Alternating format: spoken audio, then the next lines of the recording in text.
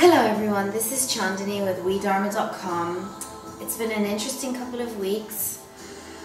Not the kind of couple of weeks that we go through every couple of weeks. It's been a couple of weeks since my father passed and extraordinarily enough, um, it's uh, hit me in a way that one could never conceive.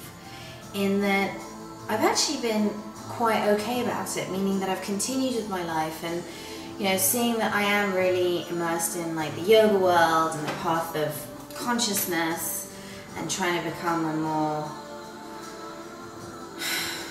expanded person in my life, I've um, not really gone through kind of like the classic mourning process, which um, lot of people go through, like it's totally normal. But over the past couple of days, I did find myself um, sort of quite snappy and in quite a rotten mood. And I owe that to um, maybe uh, the grieving process. So it's been interesting to sort of observe myself um, as I reflect back on these past two weeks and how um, the departure of someone so integrated into one's life can affect your overall experience. And what I've um, come to uh, want to share this evening is that, um, you know, how we always say that life is in the moment and life is about experiencing the now. Well, it hasn't been emphasized more to me, uh, or I haven't felt it more than I have in these past two weeks. And um, really the uh, essence of what we feel and what we have and what we experienced at any given moment is the deepest and most important part of our existence. I really do stand for this like I've never stood before and to really be as present as possible and to envision life and experience it from a place of totality is really something that we can practice again and again and again.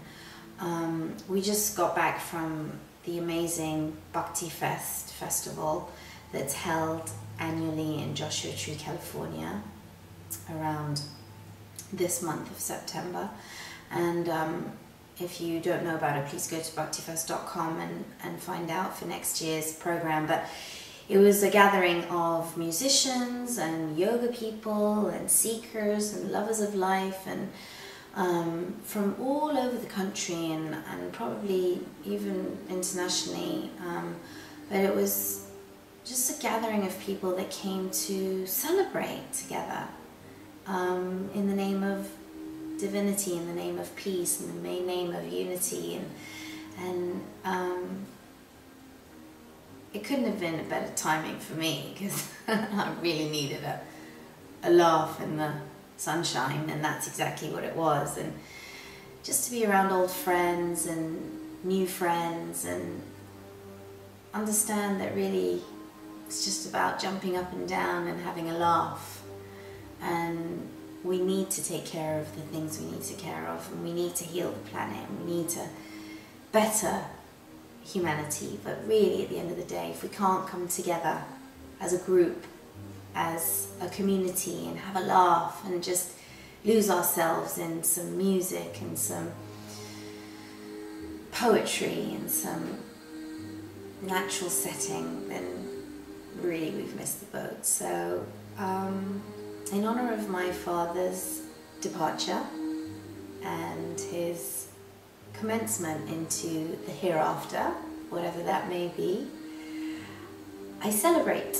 I celebrate his life, I celebrate our life, I celebrate life, I celebrate humanity, and I am so happy that we together at WeDharma.com and out there in the great wide world can say, be here now. Be here now. For if you are not here now, then when? This is Chandanni with WeDharma.com. Have a great, great rest of your life.